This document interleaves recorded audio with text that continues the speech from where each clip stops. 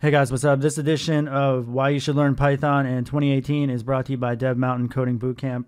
Make sure you guys check them out if you're interested in going to a coding bootcamp. They have very good reviews, and the link is in the description tab below. Hey guys, what up? So in this video, I'm doing a follow-up to a popular video that I did back in 2006 about why Python was a good language to learn. Um, there was also some confusion about whether or not you guys think that I'm like um, promoting Python or promoting C Sharp or Java or something like that over Python. Uh, I've already said it's relative to where you live, I mean, where the jobs are and everything. But in this video, I do want to touch up on the topic of why Python is still a good language to learn, though. There's like, there's plenty of examples, and you'll see in this video why. So number one, Python programmers make bank. Um, they are making an average of $103,492 per year, and that's in the United States. Those figures are actually several years old, and the salaries have actually gone up from there. So I wouldn't be surprised if there's uh, if those salaries are quite a bit higher than that at this point. Yep, and according to this article by ZDNet, uh, it's actually Python that is the fastest growing language now, and um, you can see in the chart comparison that they, um, they they show that Python has now surpassed all the other popular languages that we might have thought were actually more popular than Python. A lot of that has to do actually with the data sciences and the machine learning um, that has just exploded, and, and Python being the front runner in that that arena. And this article here is several years old, but it shows that YouTube was actually written in Python. So that's one of the major successes of the Python language. And um, it's actually one of the reasons why Python is so popular as well, is because Google used it not just with YouTube, but also with its original search uh, engine was all in Python. And here's some more evidence of the job growth from Indeed.com.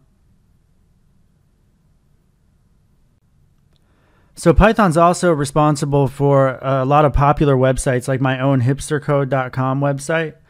It's also responsible for lesser known websites like Instagram and Reddit. and, and, that last image of Reddit there is actually the um, article that got featured a couple months ago. It was like the front page of Reddit, the number one story about Udemy using some of my content illegally.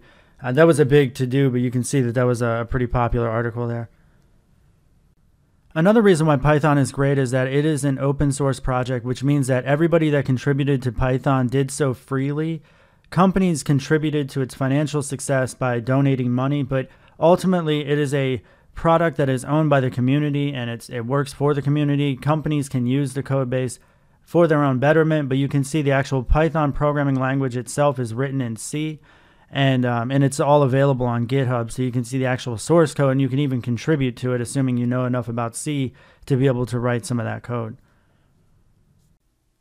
So another reason for Python's job growth and its success, and why it's the number one fastest growing language, is because it's in so many different uh, areas.